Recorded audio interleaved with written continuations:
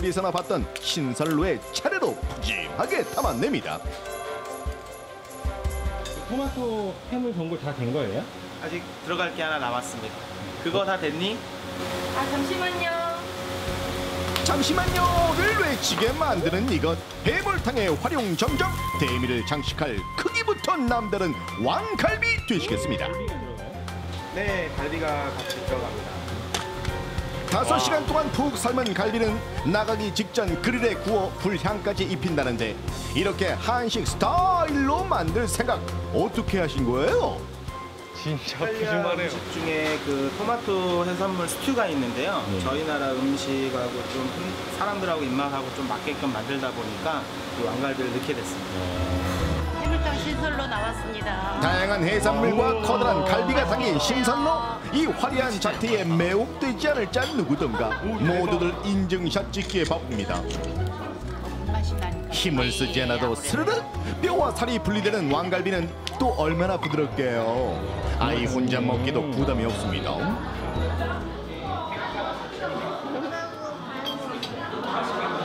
맛있어요? 토마토가 들어간 국물 맛은 어떨지 국 물에서 느껴지는 맛 여기가 이탈리아예요 한국이에요 저 국물이 어떨까요? 제가 어제 술을 많이 먹어서 그런가 완전 시원해요. 이분은 한국 약간 국물 파스타 같은 그러면서 해장되는 것 같은 그런 매콤한 맛도 있고요. 이탈리안 전통 음식 같으면서도 한국식으로 잘 표현한 것 같아서 맛이 있어요. 이분은 이탈리아도 다녀오셨네요 같이 해민도 소고기와 토마토의 영양 궁합 역시 잘 어울리는데요. 양질의 단백질을 함유하고 있는 소고기와 리코펜, 베타카로틴 같은 항산화 성분이 풍부한 토마토. 이 둘을 함께 먹으면 혈액 속의 콜레스테롤 수치가 조절되고 위의 부담도 덜 수가 있습니다. 안 맵고 고기는 부드러워요.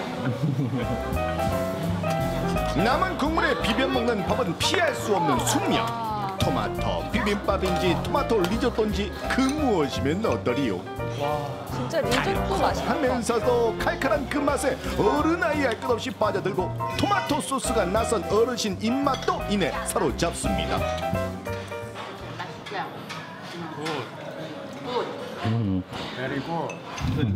좀안 어울릴 것 같거든요. 근데 어떠세요?